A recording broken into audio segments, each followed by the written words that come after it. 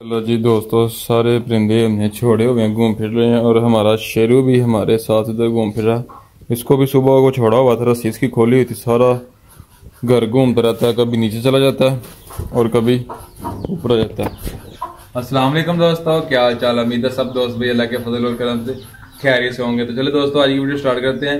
Video को and तक लगन देखिएगा। वीडियो को लाइक, चैनल को सब्सक्राइब और बेल आइकन पर भी क्लिक कर दीजिएगा। तो चलो दोस्तों, आज आपकी आपको अपडेट देते हैं। आज की अपडेट रही ये है कि आज हम अपने चूज़ों पर वीडियो बना रहे हैं कि हमारे चूज़े ग्रोथ क्यों नहीं कर रहे। ग्रोथ ना करने की बहुत सारी वजूहत होती हैं, हमने सारी करके देख ली।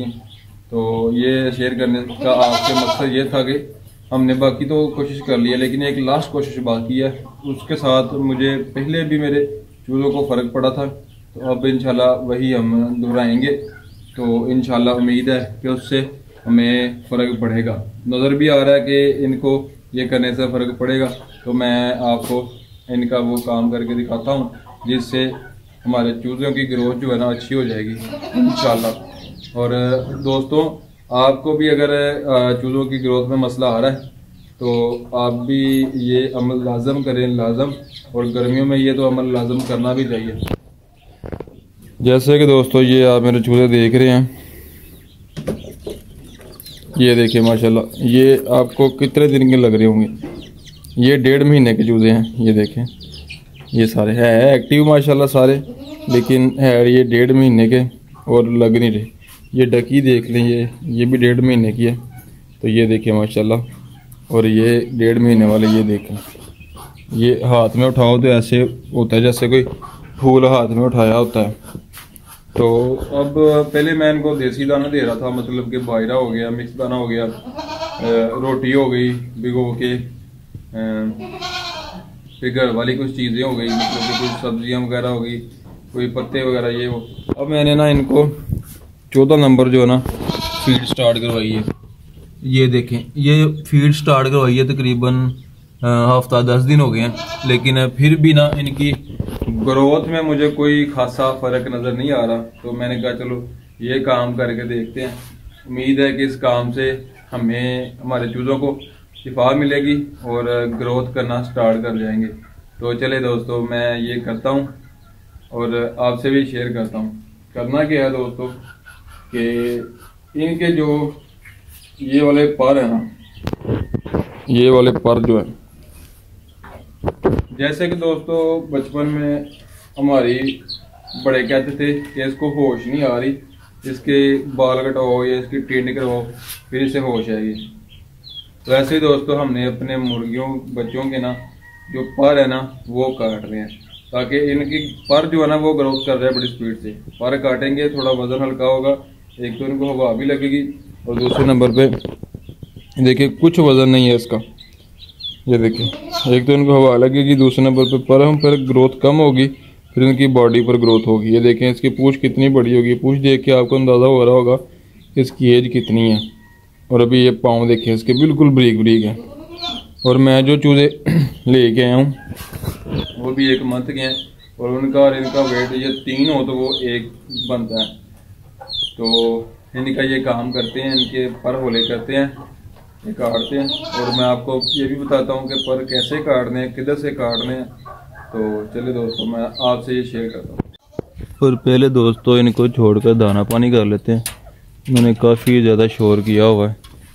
आ जाओ आ जाओ आ जाओ आ जाओ। इनको दाना पानी दे देते हैं, ताकि ये इतनी देर दाना शाना खाएँगे और हम अपना काम कर लेंगे। हमारी दोस्तों, आज इनके लिए माशरा रोटी भी गोई हुई है, आज इनको रोटी देते हैं, रोटी बड़े खुश हो खाते हैं ये। तो ये रोटी छोटी खाएँ। तो दोस्तों, ये सीज़र ले आया हूँ मैं इनके पर कटने के लिए। चलो जी, तैयार हो जाओ। नाइया आ गया आपकी जामत करने के लिए। सही है, कटिंग शटिंग कराओ, शेप शूप कराओ, प्यारे हो जाओ। तो दोस्तों, ये चूज़ा हमने पकड़ लिया। तो अब इसके ना पर काटने हैं। आपने पर कैसे काटने ये भी मैं आपको बता देता हूँ। ये इनकी ना हड्डी होती है इधर। ये आपको नज़र आ रही होगी। ये वाली जो है ना, इनकी हड्डी होती है। और ये हड्डी के बिल्कुल नज़दीक नहीं आपने काटने ताकि इनका गोश्त, इनकी हड्डी ना कट जाए। बस आपने पर काटने हैं, पर काटने से इसको कोई तकलीफ़ नहीं होगी।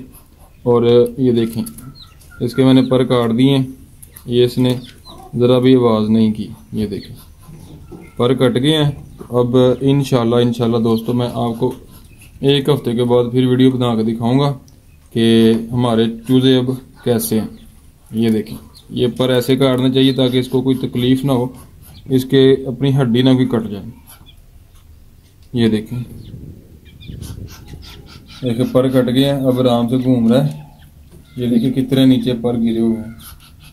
ये सारे काट दिए। तो दोस्तों, एक और चूजे के पर काट के देख ले, दिखा देता हूँ। इसके देखिए, माशाल्लाह, पर कितने हैं। ये देखें, और इसका वेट देखें। बिल्कुल हल्का सा वेट है, और बॉडी इसकी देखें, बिल्कुल छोटी सी है। तो इसको भी चाहिए था कि तकरीबन, माशाल्लाह, इतना बड़ा हो जाता इतनी इसकी एज हो गई है। तो अब मैं ना, इसके भी पर काटता हूँ। देखिए, इसको, इस तरह चूजे को पकड़ लेना, ऐसे आप पकड़ लेंगे तो ज़रा भी नहीं लेगा तो इधर से आपने ऐसे रखना है। तो इसके ये सारे बड़े पर जो है ना वो काट देने ये छोटे जो नए पर आ रहे हैं ये नहीं काटने आपने। ये जो बड़े पुराने वाले पर है ना वो आपने काट देने ये ऐसे चूल्हे को पकड़ना है और ऐसे कैंची रखनी है। बिस्मिल्लाह। और ये ऐसे काट देना ये देखें कट गए। इसको कोई तकलीफ़ नहीं है। बस का, पर काटने के बाद आपने कोशिश ये करनी है कि चूल्हे को कहीं ऊपर ऊपर वाली जगह पे नहीं छोड़ना ताकि ये गिर के चोट ना लगवा ले। जब इनके पर होते हैं ना तो ये उड़ना स्टार्ट कर देते हैं, गिर के। उड़ते हैं पर के साथ। तो जब इनके पर नहीं होते तो फिर नीचे जाके गिरते हैं, कोई चोट वगैरह लग सकती है इनको। फाइनली दोस्तों, सबके मैंने पर काट दिए ये देखें। इसके भी काट दिए इसके भी काट दिए इसके भी काट दिए तो अब एक तो इनको गर्मी कम लगेगी, सही है, और दूसरा, इंशाल्लाह इंशाल्लाह, इनकी ग्रोथ अच्छी हो जाएगी। ये देख रहे हैं आप नीचे सारे पर गिरे हुए। पर ही पर गिर गए। हैं तो अल्हम्दुलिल्लाह इनके पर कट गए। तो दोस्तों, करना क्या है? इसको गर्मी लग रही है। ये पानी के साथ बिल्कुल जाकर बैठ रहा है। ये देखें। अब दोस्तों, करना आपने क्या है कि ये वाला इनको जो पानी पड़ा होगा ना केज में, आपने वो पानी वेस्ट करना है। और क्या करना है कि पर काटने के बाद ये लाइजोविट सिरप जो है ना दोस्तों, ये वाला आपने इनको हफ़्ते में दो मरतबा इस्तेमाल करवाना सही है। पर काटने से भी ग्रोथ अच्छी हो जाती है इनकी, लेकिन ये सिरप जब आप इस्तेमाल करवाएँगे ना तो इनका अंदर का जो निज़ाम हज़ाम होता है ना मतलब कि वो इनका सेट हो जाएगा। इसमें होती है vitamin B complex vitamin C plus lysine सही है? तो ये इनका निज़ाम हज़ाम भी सेट करती है। आपने सिर्फ़ जो है ना, आपको मिल जाएगा मेडिकल इंसानों वाले मेडिकल स्टोर से। सही है? ये आप इसकी प्राइस वगैरह देख लें। तो ये बहुत ही अच्छा फ़ायदेमंद होता है। ये हाजमे वाला हाजमा भी सेट कर देता है इनका। तो पोट शोट जो जाम हो ना, वो भी इनका साफ़ कर देता है। तो ये इस्तेमाल लाजम करवाएँ। लाजम नहीं है कि पर काटने के बाद ही आप करवाएँ, पहले भी करवा सकते हैं। तो ये बड़ा अच्छा होता है। आप सब चूज़ों को, अपने परिंदों को ये वाला सिरप इस्तेमाल करवा सकते हैं। दोस्तों, आज के लिए इतना उम्मीद करता हूँ आपका वीडियो पसंद आई होगी। पसंद आई है तो लाइक और सब्सक्राइब लाजम कीजिएगा। मिलेंगे इंशाल्लाह कल एक नई वीडियो के साथ। तब तक के लिए दुआ मिलाद रखें। अल्लाह हाफिज़।